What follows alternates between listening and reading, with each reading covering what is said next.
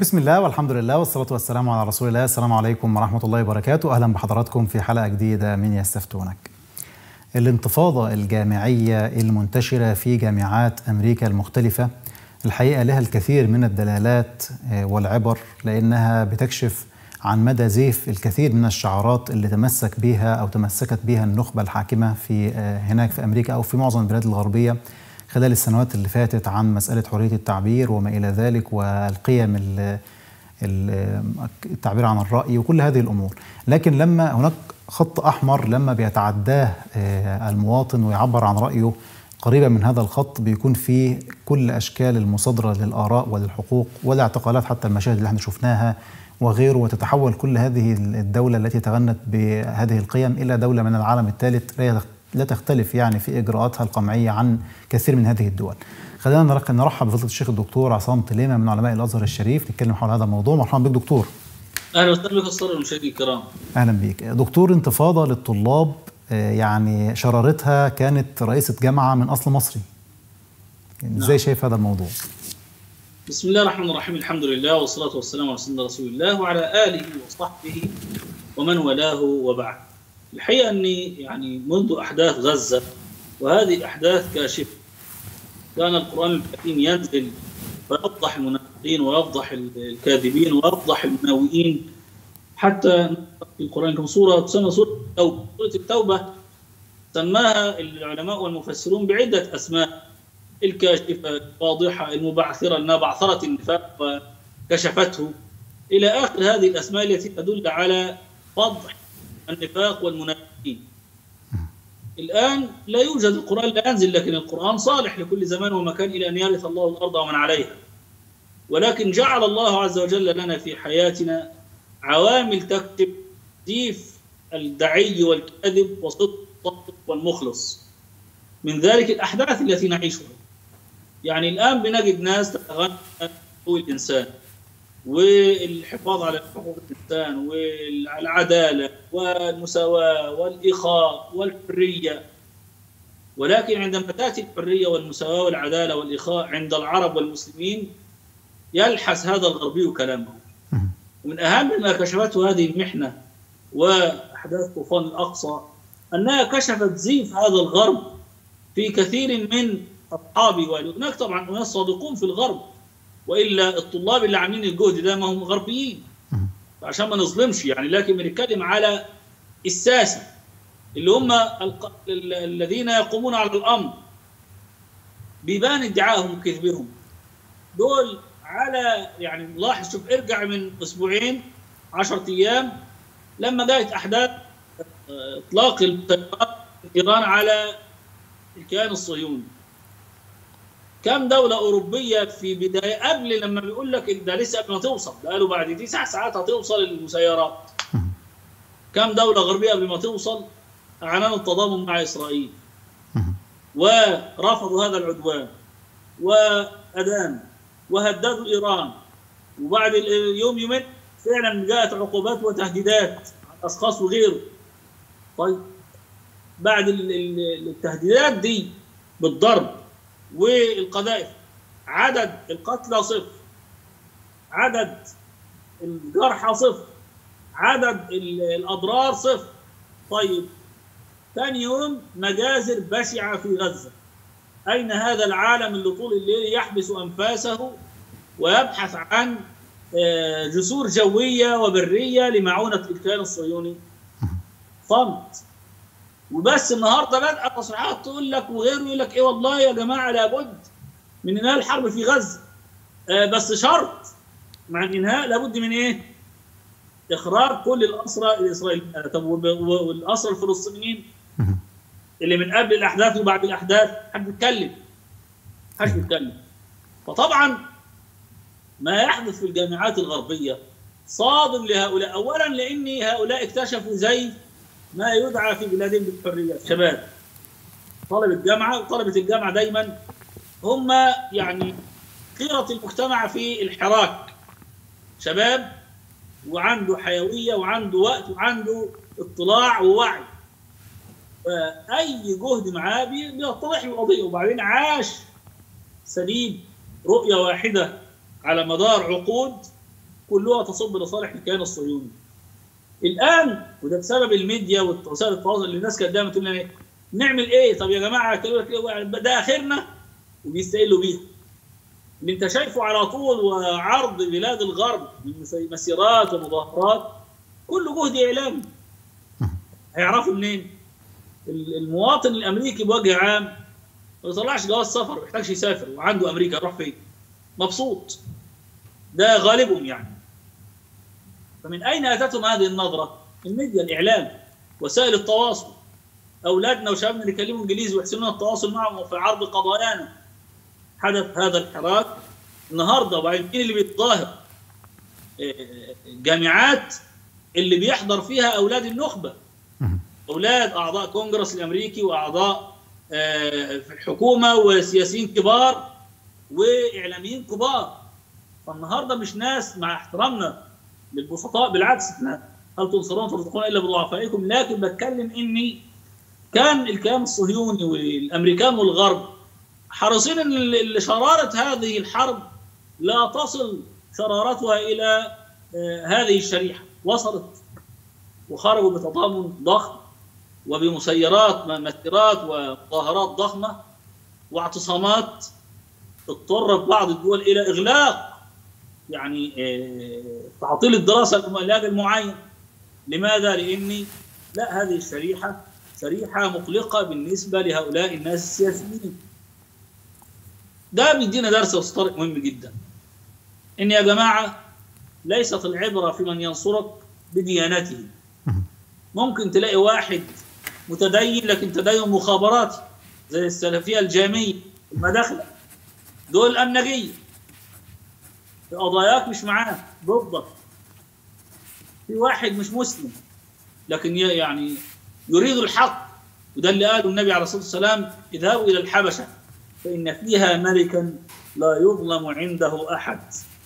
ليرفع هذا المعيار الظلم وعدم الظلم. فده ملمح مهم جدا. ان إحنا النهارده يا جماعة نفتح في باب النقاش والتواصل وفي باب التفاعل مع كل انسان يقنع بالقرآن. ايا كانت ديانته بل هناك يهود أمريكان يتظاهرون. ليه؟ لأنه يهودي مش صهيوني فعلينا أن نفرق في التعامل بين اليهودي والصهيوني. اليهودي تابع لديانة له كل التقدير. الصهيوني شخص عدواني محتل له أن يقاوم ويعارض. المعارضة التي مش معارضة في من الداخل لا معارضة إخراج الاحتلال. اذا دي نقطة مهمة في التفرقه طيب العمل والجهد. لا يحقرن أحدكم من المعروف شيئا وإن قل. ما تقللش من جهدك مهما كان لأن الحق مهما كان قوي. مهما كان صغير وضعيف فهو أمام الباطل قوي.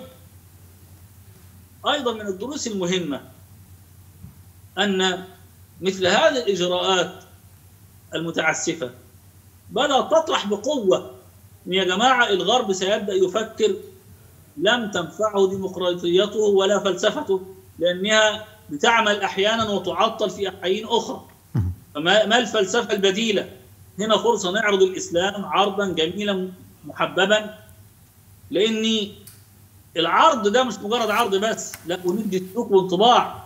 لماذا قلنا في أول أحداث غزة؟ يا جماعة الأحداث دي هتبقى وجهة خير إن الناس هتسأل على دين الناس دي. فعلا كان السؤال الملح.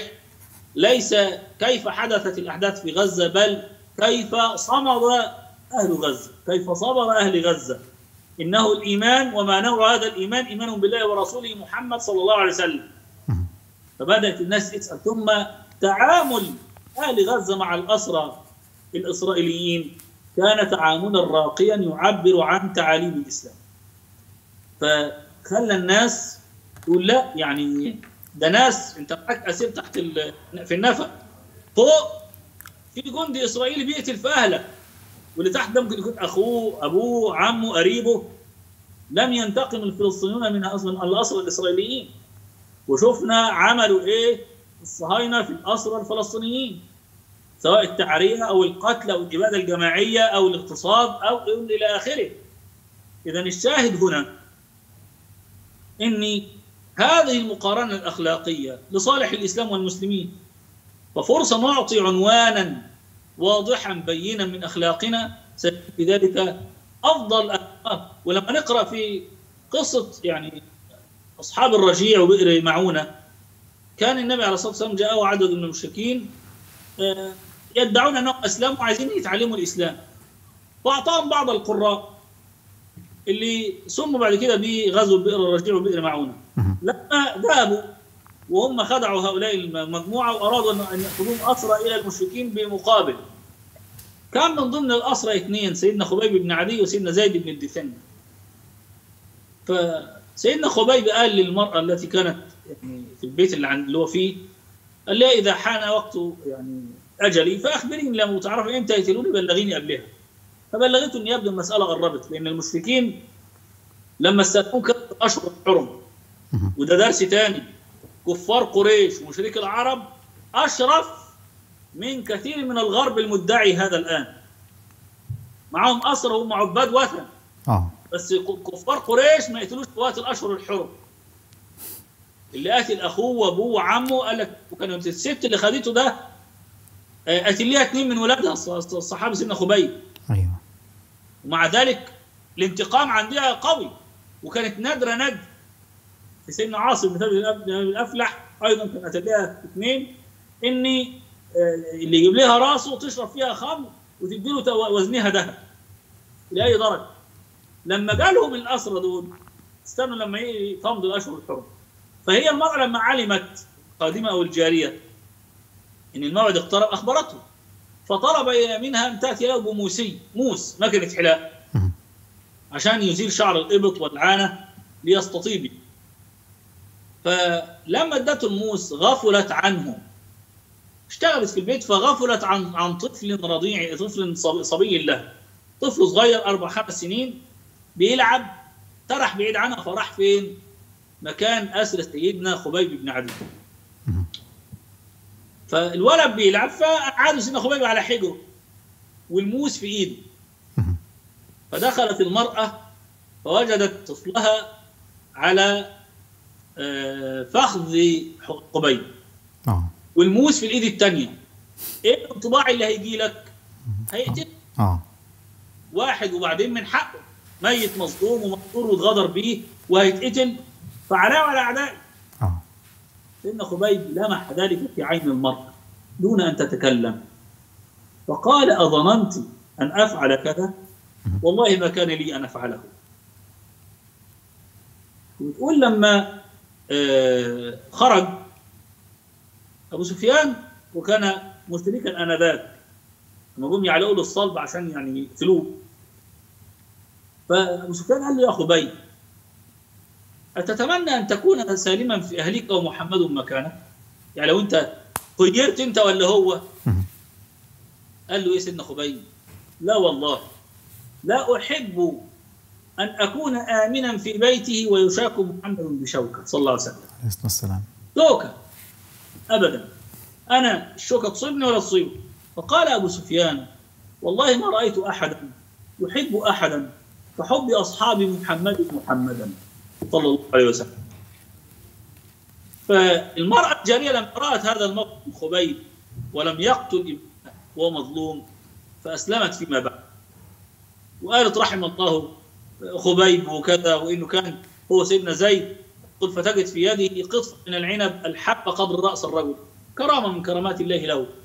الشاهد إن الذي رأى هذه الكرامات أو هذا السلوك الأخلاقي النادر. صعب الا يسلم. صعب.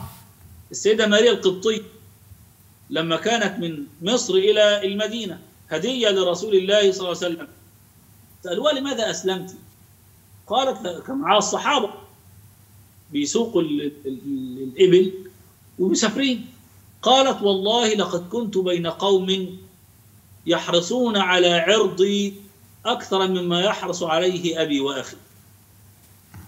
في النموذج لهذه الدرجة ففرصة أن إحنا الآن سيبدأ هؤلاء الناس يسألون عن قضية فلسطين. لا نعرف.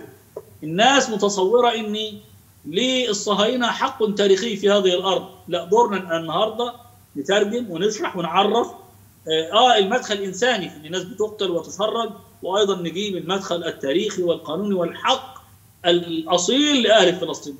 هذه فرصة عظمى جاءت على طبق من طبعا مش هقول من ذهب لأن السبب في ذلك هو دماء الشهداء التي كانت دماء زكية فنفعت قضيتهم هذا النفع.